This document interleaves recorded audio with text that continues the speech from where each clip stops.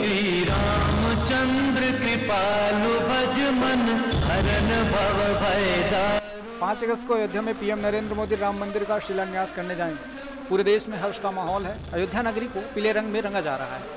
योगी आदित्यनाथ की अगुवाई में राम मंदिर की भव्य तैयारी की जा रही है। ई रेडियो इंडिया ने सोचा कि क्यों ना क्रांतिधारा मेरठ के लोगों से इस पर कुछ सवाल किया जाए। मसलन, भगवान राम के बारे में क्या जानते हैं? अयोध्या से उनका क्या ताल्लुक है? क्यों अयोध्या में मंदिर को लेकर इतना बड़ा मुद्दा बनाया जा रहा है? तो आइए सुनते क्या कहते हैं लोग? जो प्रभु श्री राम का भव्य निर्माण हो रहा है राम मंदिर का उससे आपको कैसा लग रहा है?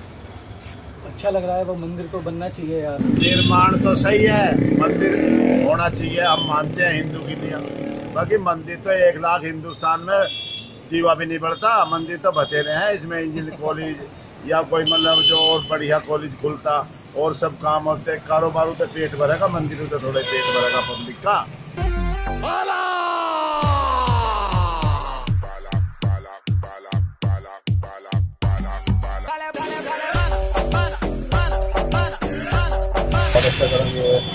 मुद्दे उठाया और हमें चाहिए सभी लोगों को बात ये ज़रूर जलाने चाहिए अपने घर के आगे राजपूत। और मुझे पूरा त्यौहार की तरह ही जश्न मनाना चाहिए। लेकिन मोदी से एक रिक्वेस्ट है हमारी ये जो गरीब युवाएँ हैं इन्हें रोज़गार मिलना चाहिए मंदिर भी बनना चाहिए दोनों काम अच्छे हो रहे हैं। शायद मोदी जी जो भी कराएँगे अच्छा ही कराएँगे।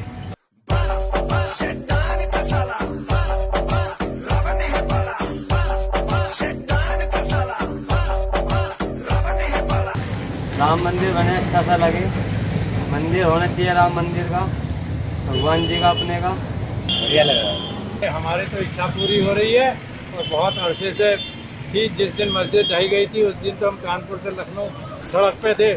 सारी सड़क खाली पड़ी थी सोच रहे थे क्या? तो लखनऊ जाके पता लगा कि मंदिर बराबर मस्जिद बराबर हो गई। तो बड़ी खुशी हुई। उस दिन से इंतज़ार है कि मंदिर बने।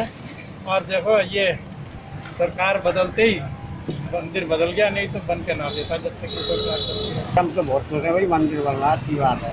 प्रभु श्री राम के बारे में आप क्या जानते हैं? श्री राम एक अच्छे इंसान थे। और उनकी पत्नी का अपहरण हो गया था। उनके भाई लक्ष्मण उनके उन्हें चौदह चौदह साल का वनवास मिला था और श्री राम उन्हें छुटा के लाए थे। और श्री राम उन्हें छुटा के लाए थे।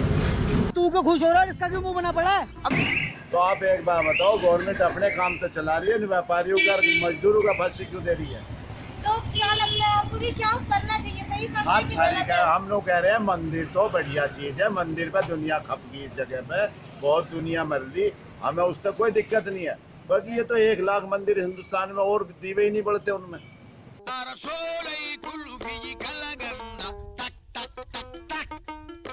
मैं चाहता हूँ मंदिर बने ज़रूर। जय सिया राम। प्रभु श्री राम कौन थे क्या जानते हैं उनके बारे में?